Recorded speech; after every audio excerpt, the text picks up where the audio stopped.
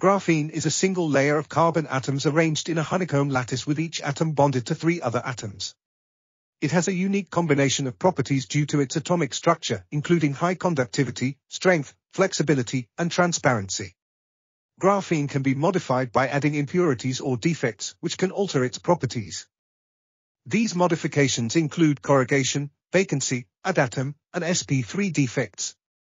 Corrugated graphene has a rippled surface, while vacant sites have no atoms at all.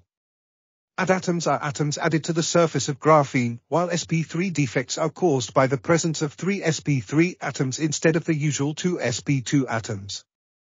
These defects can affect the electrical, thermal, chemical, and mechanical properties of graphene.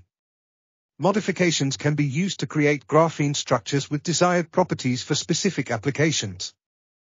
This article was authored by Gao Yang, Li Hua Li, Wing Bun Lee, and others. We are RTCL.TV, links in the description below.